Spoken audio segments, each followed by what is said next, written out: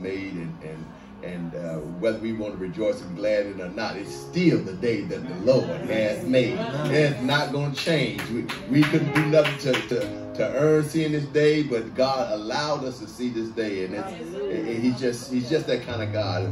Uh, uh, his his, his uh, gifts and callings come without repentance. You know, that means he, he's not. He, he don't. He don't. How many of you got kids and, and you want to "I'm not. I'm not giving you nothing." Okay, maybe it's just Ross and I. You get nothing. No, we don't serve that kind of God. He, he gives us things that, that we don't even deserve or didn't do anything to earn it. Uh, he gives us supplies our, our, our, needs and some of our wants. You know, hallelujah. Hallelujah. So uh, there is a word from the Lord. I, I won't be before you long. Uh, it's a real uh, familiar passage of scripture. Uh, it comes from Matthew chapter number 26 verses 36, I'm sorry, verses uh, 20, 36 and 46. And um, and you get that one there, uh, say man, and hold your finger there and put uh, maybe your program in uh, 2 Corinthians chapter number 12, verse number 9. We're going to try to tie those two scriptures together. And then y'all can get out of here and get your chicken wings and watch uh, the Redskins and Miami and see who's going to get the first round draft pick or something.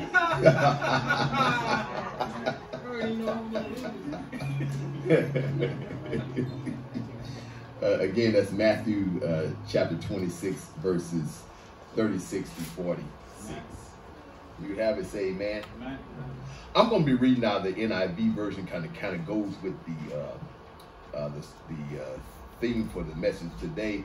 Uh, I, I, know uh, you all got the, the uh, King James version, uh, so I'm going to read it, and it, it kind of reads the same, just a few words changed. Okay, and, and the Word of God says, Then Jesus went with his disciples to a place called Gethsemane, and he said to them, Sit here a while while I go over there and pray. He took Peter and the two sons of Zebedee along with him, and he began to be sorrowful and troubled. Then he said to them, My soul is overwhelmed with sorrow to the point of death. Stay here and keep watch with me. Going a little further, he fell with his face to the ground and prayed, My Father, if it is possible, may this cup be taken from me. Yet not as I will, but as you will. Then he returned to his disciples and found them sleeping. Couldn't you men keep watch with me for one hour? He asked Peter. Watch and pray so that you will not fall into temptation. The spirit is willing, but the flesh is weak. He went away the second time and prayed, My Father, if it's not possible for this cup to be taken away unless I drink it, may your will be done. When he came back, he again found them sleeping because their eyes were heavy. So he left them and went away once more and prayed the third time, saying the same thing. Then he returned to the disciples and said to them, Are you still sleeping and resting? Look, the hour has come, and the Son of Man is delivered into the hands of sinners. Rise, let us go. Here comes my betrayer. Uh, Corinthians, 2 Corinthians 12, 9, it says, But he said to me, My grace is sufficient for you, for my power is made perfect in weakness. Therefore, I will boast all the more gladly about my weakness, so that Christ's power, not my power, Christ's power may rest on me. Amen. May the Lord have a leaning and blessing to his read word. Uh, uh, Father God, we thank you right now for this word, God. We thank you for the opportunity to speak. Give me nimble thought and uh, and uh, be able to articulate this word in the way that you would have me to articulate. It's in Jesus' name we pray. Amen. Hallelujah. So uh, I would like to use for a thought today. He is the God between a rock and a hard place. Amen. He is the God between a rock and a hard place.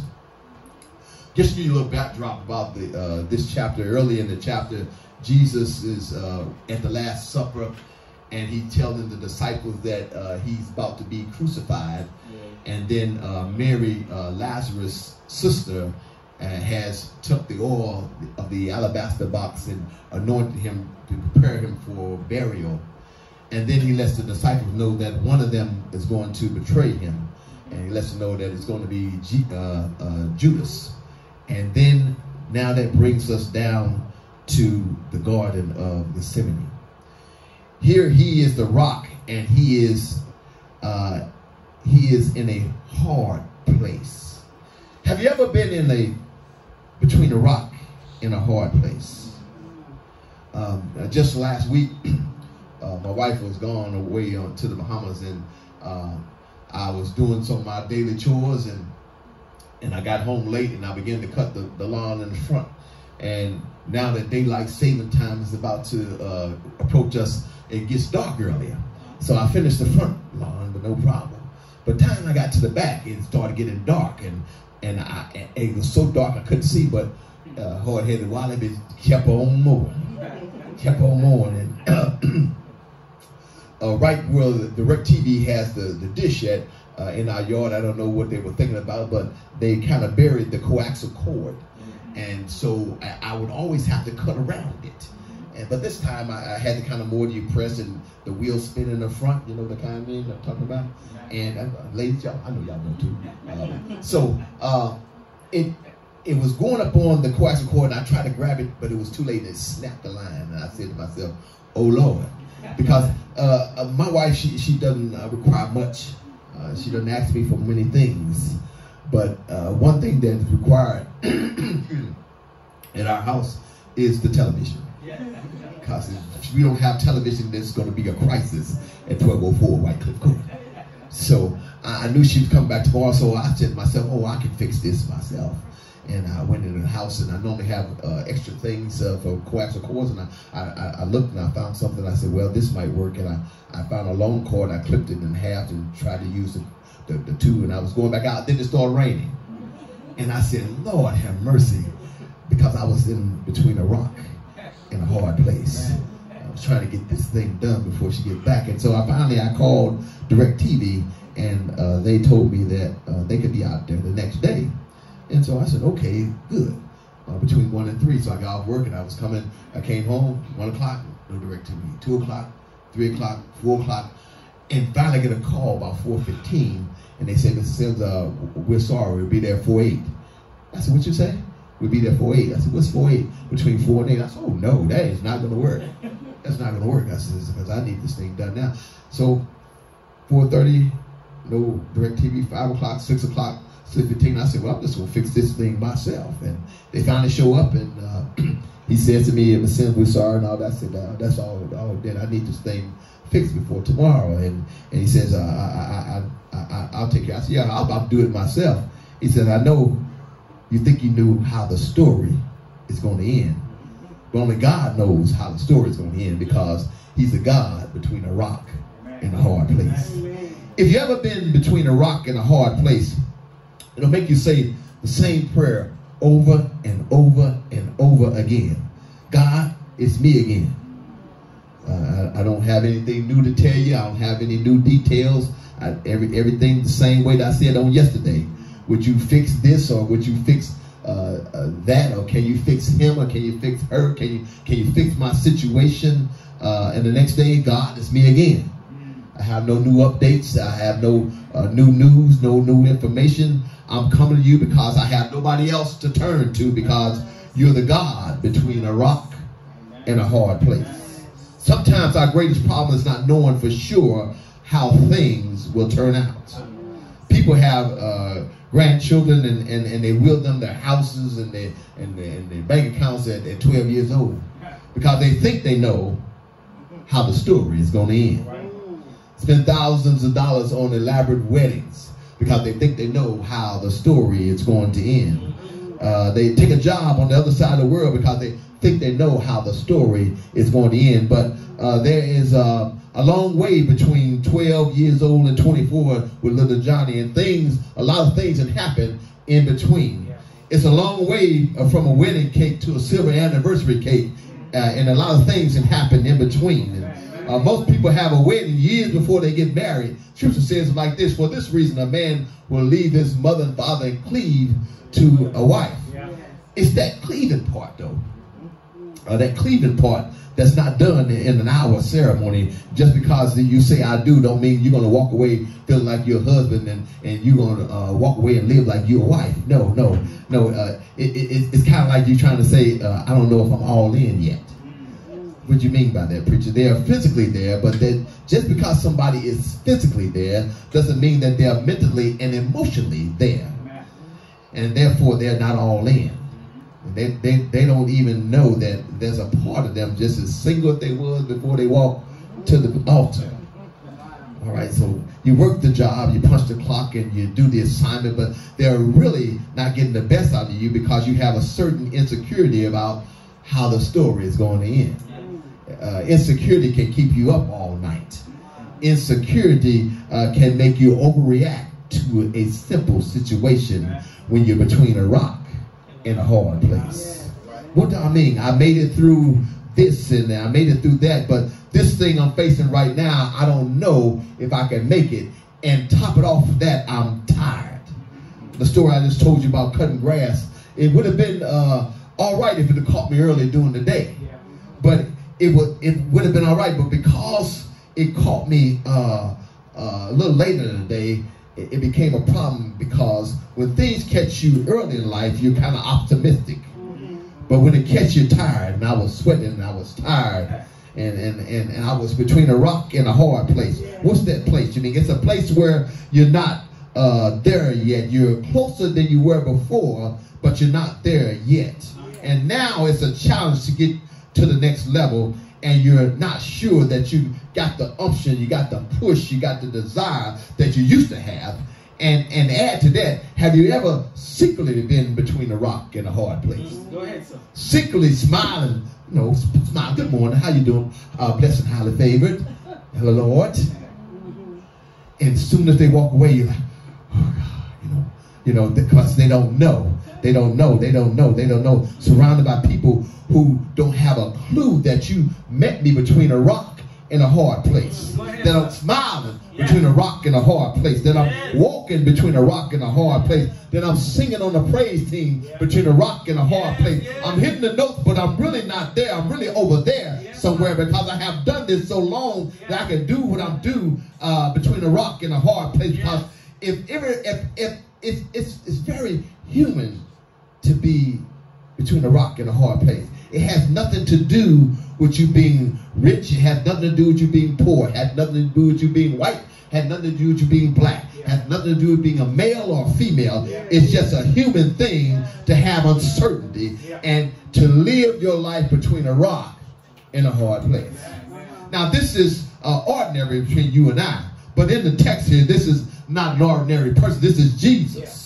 Jesus, the only begotten Son. Uh, he is the eternal God of, uh, uh, he, of the Father. He knows the beginning and he knows the end. He's not just Alpha, he's Omega. He's not just the beginning, he's the end. He's not just the first, he's the last. He knows how the story is going to end.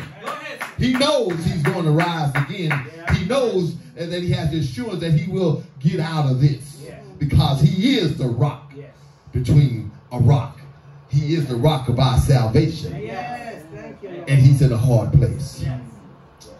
So there's three things that you have to endure in your garden of Gethsemane. Now, now we all have a garden of Gethsemane, whether we want to admit that or not.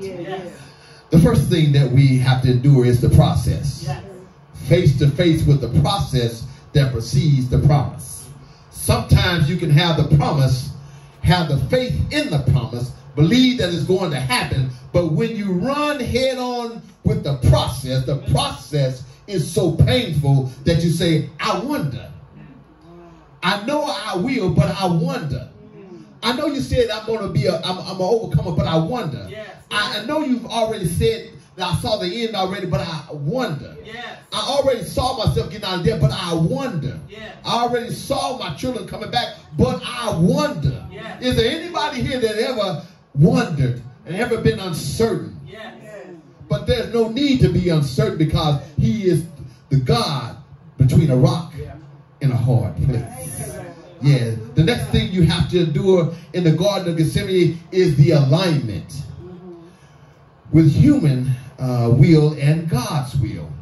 That uh, uh, uh we're seeing is God's will uh, and the and the will of the Son are lining up together. Like 12 noon, when, when the, the, the second hand needle meets the hour hand needle at the same time. Okay, let me, let me, let me, demonstrate this here. So we got this clock here, right? Go ahead, man. Yeah. Right. So we gonna y'all, y'all gonna just tick tick ticking. Okay, so it's ticking. All right. And and we're going around. All right. Things are going on. You got trouble in your life, and it's just you're going around, and the time is just going, and and, and God is moving. Yeah, yeah. But He's not moving as fast as we want Him to move. Yeah. And we're still going. It's, we're a long way from us lining up our will with God's will. Yes. And finally, finally we get it, and we go right to 12 noon. So what does that mean?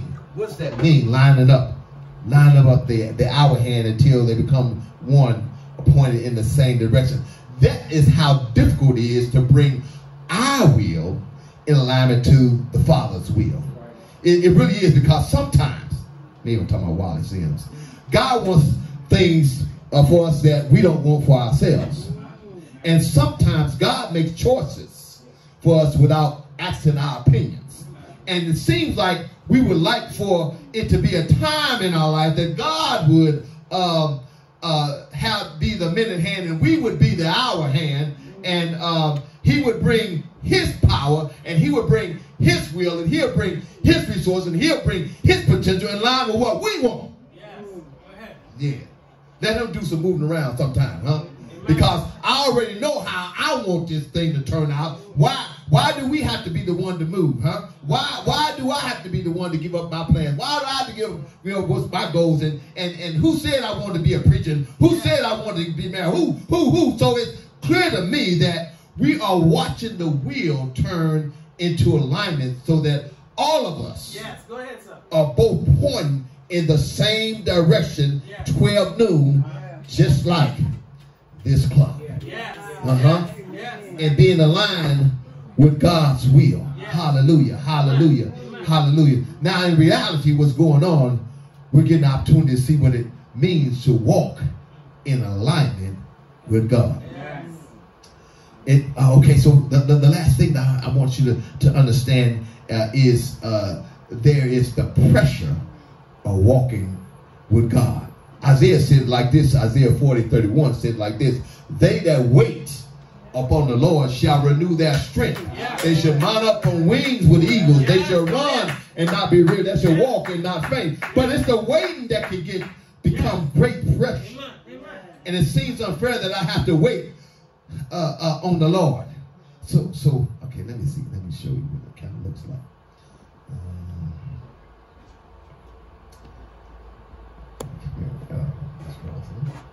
She you. See, uh, we don't want to uh, keep in, in step with the Lord. So sometimes we walk in front of the Lord. Come on, walk with me. We walk in front of the Lord. Lord I know what I want to do. Uh, I, I'm not ready to, uh, to live holy. I'm not ready uh, to do what you want me to do. I'm going to do my own thing. It's my thing. Do what I want to do. Yes, go ahead, sir. And then there are times when uh, we walk ahead of God. You wouldn't walk. God, I don't want to. I don't want to walk with you. Uh, I, I, know what I want to do on this thing here. I don't need you. I didn't ask you uh, to help me on this. Go ahead, walk in front of me again. And and and uh, I'm not gonna do it. I'm just I know I don't want I don't want to live holy. I, I can live holy just on Sunday. I don't want to live holy on Monday through Friday. Yeah. I will do my own thing. Yeah. But then there's some of us who step when God says step. And there's some of us that move when God says move. And that's what God wants us to do, be aligned with him. Say, God, I'm not going to move till you move. That I'm not going to step till you step. And I'm going to put my hand in your hand. And as long as my hand's in your hand, I can do the things that you want me to do. And I can line my will with your will. Somebody shout hallelujah. Hallelujah. Hallelujah. Hallelujah. Hallelujah. Hallelujah. So, so that's that's what it means to walk in line with what God says to do and not do our own thing. Uh-huh. So, so uh, Jesus, Jesus in the text went back three times checking on folk that were somewhere else, on folk that were doing their own thing, that was walking ahead of God and doing things that uh, they didn't want to do. They were they were sleeping, and so while Jesus is under pressure, so the last thing is the garden is the pressure. Yeah. So ahead, this is how it goes. He yeah. he goes to talk to the disciples. Can't get no help here. And he goes over here and he talks to the Father. He says, Father, not my will, but thy will be done. This bitter cup. Don't need none over here. Goes back over here to the disciples. He said, Can you just watch with me one hour while I pray? They get nothing over here. Goes back over here. He says, Father, if it be thy will, that bitter cup, let it pass. Not my will, but thy will. The third time, yeah. went back over there and he found out they were still sleeping. He told sleep on. Yeah.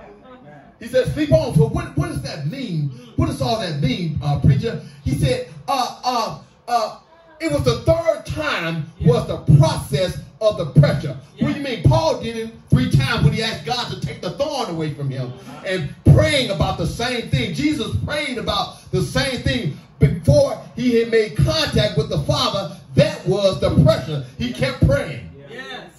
What are you saying? You know, uh, uh, maybe your marriage doesn't work. Uh, maybe uh, the, the, your child's going crazy. But uh, according to 2 Corinthians 12, uh, verse 9 says, uh, My grace is sufficient. Uh, God says, uh, what he says, I got you covered. You don't need what you think that you need. All you need is me because my grace is sufficient. But Lord, I'm in a wheelchair. My grace is sufficient. But Lord, I got more bills than money. My grace is sufficient. But Lord, my mama's sick. My grace is sufficient. Lord, my dad is sick, but my grace is sufficient. I don't know what I'm going to do. My job because. My grace is sufficient. Uh, just because something isn't working right now doesn't mean that everything isn't working. You got to thank God for what's working while you're waiting on God to fix what ain't working. Hallelujah. Sometimes, sometimes a happy ending is not uh, how you wanted things to work out. Sometimes a happy ending is when you get to a place. Oh God, okay, I'm gonna show you one more time. You uh, sometimes a happy ending is this. Okay, uh, uh, um, um, um, okay, I'm gonna use you one more time. All right, yeah, yeah. Uh, okay, watch that. Put that down. Yeah. Uh, can I use? Can I use you? Yeah, you. Okay, I'm gonna use you. You jump first. Okay. All right. So here's what I want you to do. Okay, I want you to just uh, run around. Let's go ahead. Go ahead. Go ahead. Walk around. Go ahead. Go ahead. All right. Go ahead. Get in front of us. Come on. Sometimes a happy ending. Go in front. There you go. Keep going. Keep going. Sometimes run, run. I know you run.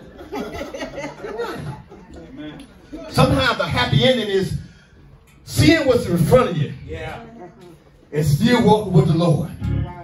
Still hearing. Go ahead and scream. Scream for me. Scream. Scream. I know you can scream. I know you know how to scream. Scream. Scream. Scream. Hearing the noise that's in front of you, but you're still walking with the Lord. Keep on going. Keep on going. You're all right. You're all right. What am I saying? The Lord wants you to know that don't worry about what things look like. Don't worry about what things sound like. Don't worry about uh, uh, people talking about, well, I thought you, you trusted in the Lord. See, the, waiting part is you got to trust God when you can't trace him.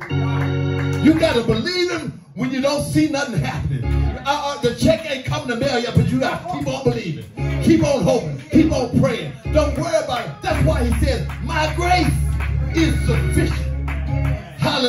Hallelujah. And my power is made perfect in your weakness. Uh, your weakness uh, could be, I don't know what you what you're struggling with. I don't know, you, you know, because we come to church in this building with masks on.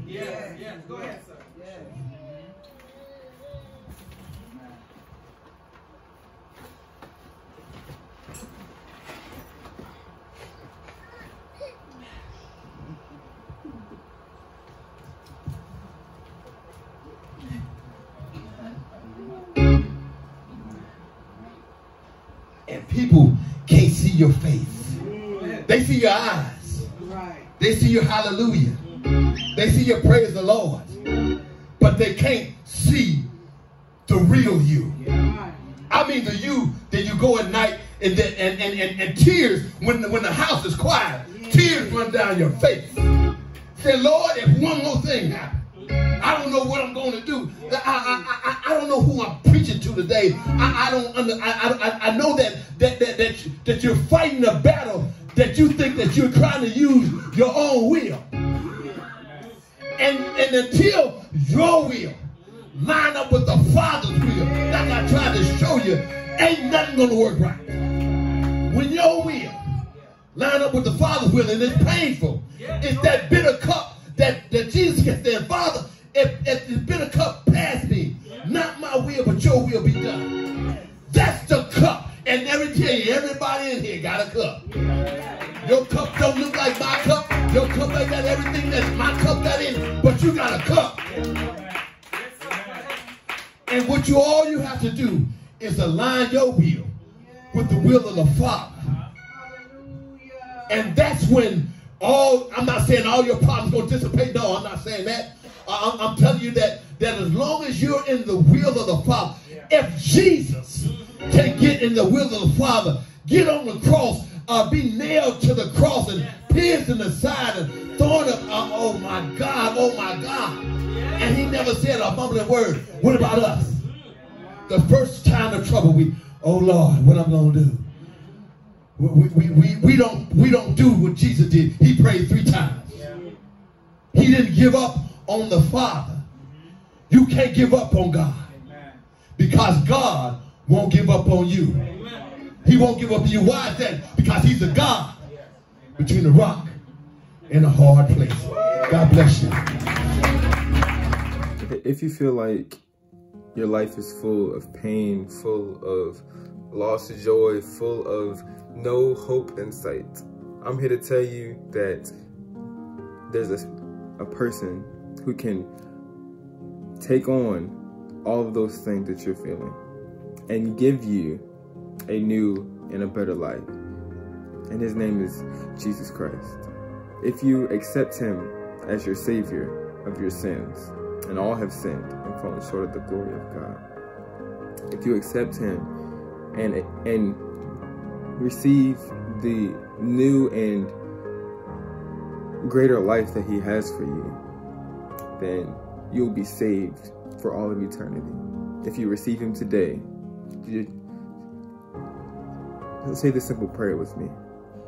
Lord Jesus, I am a sinner, but I thank you that you came to earth, lived the life of righteousness, that died on the cross to pay for my sins. And you died in my place. And you rose again so that I can be raised to new life. I accept you as my Lord and Savior to lead and guide me in the rest of my life. In Jesus' name, amen. If you pray that simple prayer, I believe that you have gotten to this new life and you have been freed from sin and restored to a right relationship with God. Get in a good Bible-based church and keep God first place. God bless you.